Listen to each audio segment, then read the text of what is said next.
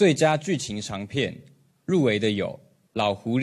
电影《老狐狸》入围台北电影节十项大奖，不过去年夺下金马最佳男配角的陈默义却不在入围名单中。对此，北影总监李亚梅表示，因为陈默义报名的是男主角奖，但评审团认为他戏份太少，比较吃亏，成为本届最大遗珠。戏份不足哦，我我我会讲，那我那我我做囡仔时，我看《教父》我一出戏啊。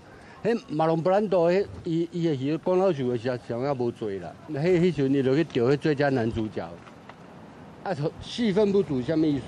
对于成为遗珠的理由很不能接受，认为演员在戏剧、电影中的戏份应该是用角色的重要性与参与程度来衡量，并非演出的时间长短。更执意不让他入围，是因为政治考量。我张没有问蔡思炳了，啊，蔡思炳讲啊，没有那个北影就很很自主。通常讲到很自主吼，我我相信在那公布政治考量，我是去看了贵啦。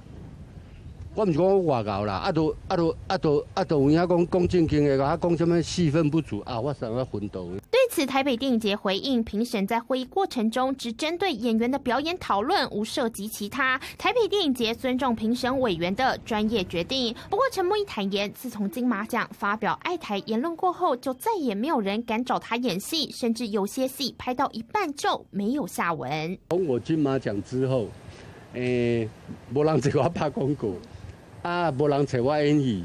谈话台湾的影视产业不该担心遭中国打压而遗忘设计独立讲座的初衷。每日新闻陈家龙、吴佩嘉台北报道。MOD 自选餐自由订阅您最需要的频道内容，自选五十，自选二十。想看最正确、最及时的新闻内容，民视新闻台是您最重要的自由选择。